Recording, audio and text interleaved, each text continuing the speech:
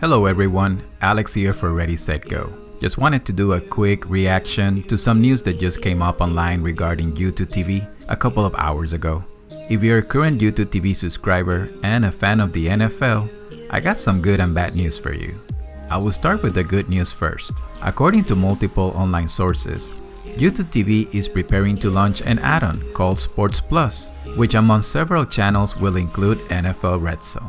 Among the channels included with the Sports Plus package are Fox College Sports, Fox Soccer Plus, GolTV, Math TV, Stadium, and TVG.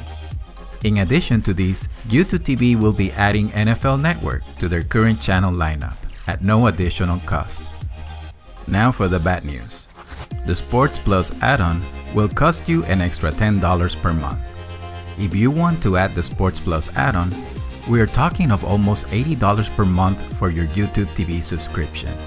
This is just insane.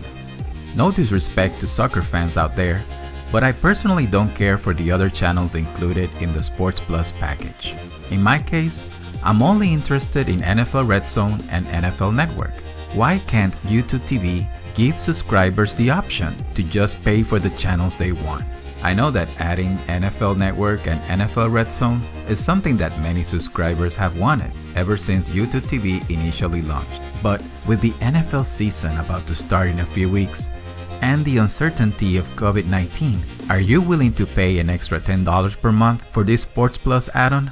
Do you feel that with the recent price hike, YouTube TV should have added these channels directly to the lineup without charging extra? It's also worth mentioning that there's still additional Viacom CBS channels that are still pending and have not been added to the existing lineup. Well, that's all for today guys. If you're a current YouTube TV subscriber or if you're planning on getting the service, let me know in the comment sections below what's your take on this. If you're new to our channel, please support us by taking a brief moment and subscribe and like our videos. This is Alex for Ready Set Go. Stay safe and I'll see you all next time.